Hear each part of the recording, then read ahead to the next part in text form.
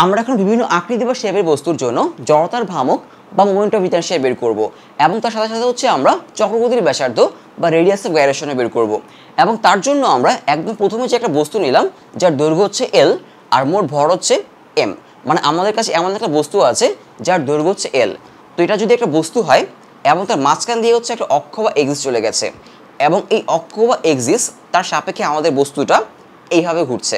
Clear তো যেহেতু তার মোট দৈর্ঘ্য হচ্ছে এল তাহলে এই পাশটুকু হবে এল বাই টু আর এই পাশটুকু হবে এল বাই টু আর ফিজিক্সে আমরা যেটা করি, প্রথমে খুব ক্ষুদ্র একটা অংশ নেই। এই ক্ষুদ্র একটা অংশের জন্য আমরা টোটাল ফর্মুলাটা প্রমাণ করি। এরপর হচ্ছে আমরা ইন্টিগ্রেশন করি। ইন্টিগ্রেশন করে আমরা এই যে মোট বস্তুর জন্য ফর্মুলাটা প্রুফ করি। এখন আমরা জানি জড়তার ভ্রামক বা মোমেন্ট অফ ইনার্সিয়ার ফর্মুলা হচ্ছে I equal to M R square তাই না? এখন আমরা যেটা করব, খুবই ক্ষুদ্র একটা অংশ নিব। মানে ডিএক্স অংশ।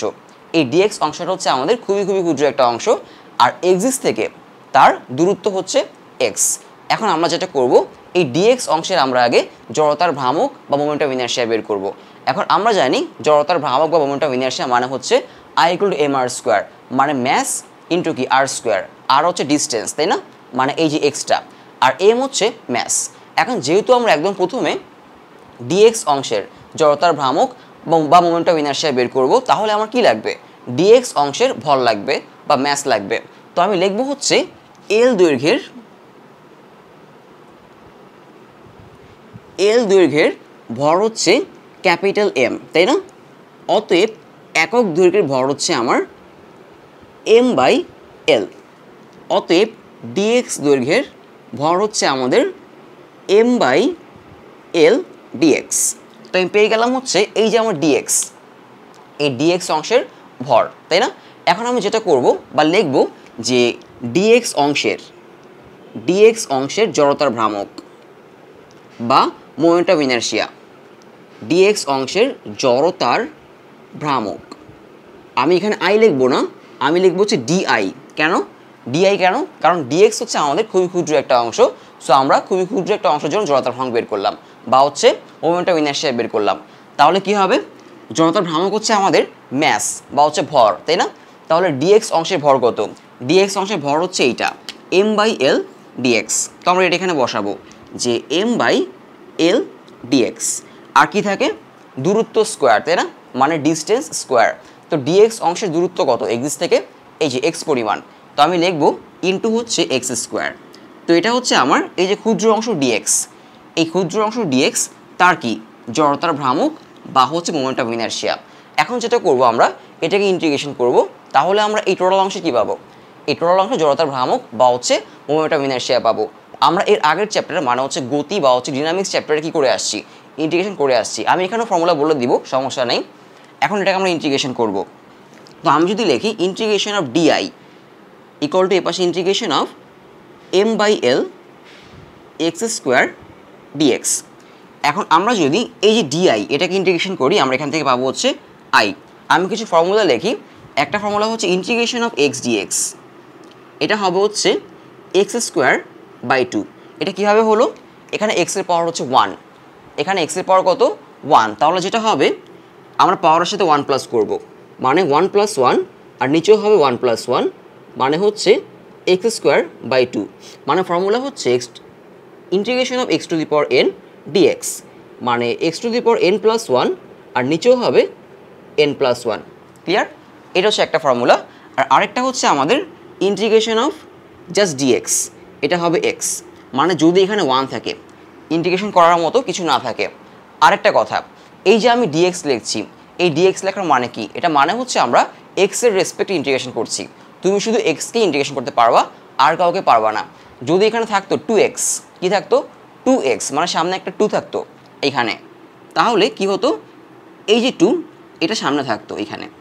এই টুকে আমরা কিছু করতে পারতাম না, কারণ টু হচ্ছে কনস্ট্যান্ট সো আমরা যার সাপেক্ষে ইন্টিগ্রেশন করছি বা যার রেসপেক্ট ইন্টিগ্রেশন করছি, আমরা শুধু তাকে ইন্টিগ্রেশন করতে পারব। ক্লিয়ার সো আমাদের এখানে জাস্ট এই একটা ফর্মুলা জানলেই চলবে। তো আমরা এখানে আসি যে integration of M by L X square dx তার মানে এখানে আমরা এক্সের রেসপেক্ট ইন্টিগ্রেশন করছি।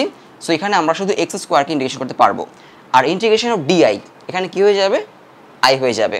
মানে এই যে এই ফর্মুলাটা ক্লিয়ার আচ্ছা। তো এখন আমরা ইন্টিগ্রেশন করব, যার জন্য আমার কি লাগবে? লিমিট লাগবে। যে আমরা কতটুকু থেকে কতটুকু পর্যন্ত ইন্টিগ্রেশন করতে চাই। তো এটা হচ্ছে আমাদের এক্সিস এটাকে আমরা কি ধরবো? মূলবিন্দু ধরবো। বা হচ্ছে আমাদের অরিজিন ধরবো। তার মানে এ পাশে হচ্ছে মাইনাস এল বাই টু আর এ পাশে হচ্ছে প্লাস এল বাই টু তো আমি এখানে লিখব লিমিট যে মাইনাস এল বাই টু থেকে আমাদের লিমিট হচ্ছে plus L by two clear এখন আমি এখান থেকে লিখব যে আই ইকুয়াল টু আমি এম বাই এলকে বাইরে নিয়ে আসব integration of minus L by two থেকে প্লাস এল বাই টু তো এটা বাইরে না আনলেও চলে, কোনো সমস্যা নেই। আমি জাস্ট বোঝানোর জন্য বললাম আর কি। এরপরে আসে আমরা এটাকে ইন্টিগ্রেশন করি এক্স স্কোয়ার তাহলে হবে হচ্ছে M by L limit minus L by two plus L by two clear এখন এই যে এক্স স্কোয়ার তাকে ইন্টিগ্রেশন করলে কী হবে? এটা করলে হবে হচ্ছে টু এর সাথে ওয়ান প্লাস হবে নিচেও টু এর সাথে ওয়ান প্লাস হবে। মানে এই যে এই ফর্মুলাটা x to the power N plus one নিচেও হবে কত? এন প্লাস ওয়ান আর এখন আমরা এই যে লিমিটটা, এটাকে আমরা এইভাবে লিখব না। এখন আমরা একটা থার্ড ব্রেকেট দিব এখানে। ক্লিয়ার এরকম একটা থার্ড ব্রেকেট দিব। থার্ড ব্রেকেট দিয়ে এখানে হচ্ছে আমার লোয়ার লিমিট আর এখানে হচ্ছে আমার আপার লিমিট ক্লিয়ার এখন এখান থেকে কী আসবে? আমি একটু এ পাশে লিখি, যে আমাদের আসবে হচ্ছে আই ইকুয়াল টু মানে জড়তার ভ্রামক বা moment of inertia M by L আর এখান থেকে পাবো হচ্ছে আমরা X cube. X cube by three আসবে হচ্ছে আমার মাইনাস এল বাই টু থেকে plus L by two. Clear minus L by two থেকে প্লাস এল বাই টু। এখন যেটা করতে হবে, এই যে এক্স মানে আমরা যার রেসপেক্টে আমরা ইন্টিগ্রেশন করেছিলাম ক্লিয়ার যার রেসপেক্টে আমরা ইন্টিগ্রেশন করেছিলাম, তার তার জায়গায় এই লিমিটগুলো বসাতে হবে। তো আমি লিখব যে এম বাই এল, এই যে এক্স তার জায়গায় বসবে এল বাই টু। তো লিখব হচ্ছে L by two whole cube আর নিচে ছিল আমাদের থ্রি তাই না? মাইনাস এরপরে হবে হচ্ছে এই যে এক্স তার জায়গায় বসবে minus L by two minus L by two whole cube আর নিচে হবে থ্রি মানে এই যে আমার এক্স এই এক্সের জায়গায় আমি প্রথমে আপার লিমিট মানে এল বাই টু বসালাম, এরপর মাইনাস দিয়ে এক্সের জায়গায় লোয়ার লিমিট মানে মাইনাস এল বাই টু বসালাম। এখন ক্যালকুলেট করব। তো এটা ক্যালকুলেট করলে কত আসবে? L by two whole cube মানে এল কিউব বাই এইট মানে টুকে কিউব করলে কত হয়ে যায়? এইট হয়ে যায়, তাই না? আর এই যে থ্রি আমরা চাইলে এই থ্রিটা কমন নিতে পারি।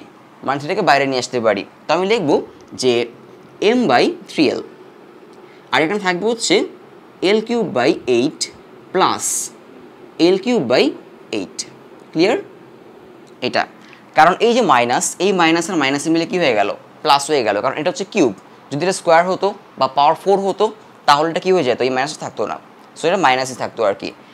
তো এখন যেটা করব, এটা প্লাস করে দিব। প্লাস করলে কী আসে একটু খেয়াল করে দেখো যে এম বাই থ্রি এল এখানে আসা হচ্ছে two two L cube by eight তো কাটাকাটি করলে কত আসে এখানে? টু আর এইট কাটাকাটি করলে এখানে ফোর হয়ে যায়।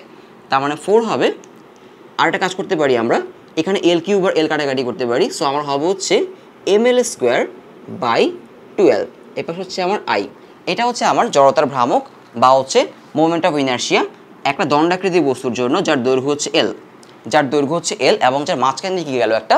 তার মাঝখান দিয়ে একটা এক্সিট চলে গেল। ক্লিয়ার আচ্ছা এবার বের করব হচ্ছে আমরা চক্রগতির ব্যাসার্ধ। কী বের করব?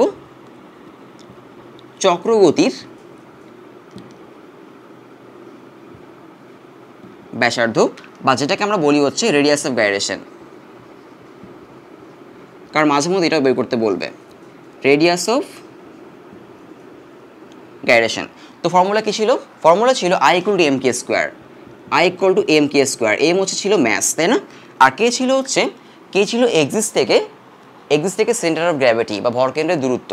আর এটাই ছিল আমার চক্রবর্তী ব্যাসার্ধ বা হচ্ছে রেডিয়াস অফ গাইরেশন এখন এই যে আই আমরা আই বের করলাম, সেটা বসাই দিব। তাহলে হবে হচ্ছে এম এল স্কোয়ার বাই হচ্ছে টুয়েলভ এরপর হচ্ছে এম কে স্কোয়ার এবার আমরা এম এম কাটি, কাটলে যেটা হবে এখানে যে K square equal to L square by twelve তো আমরা ইকুয়াল টু লিখতে পারি যে K equal to L by root twelve আমরা যদি রুট করি, তাহলে হবে হচ্ছে কত?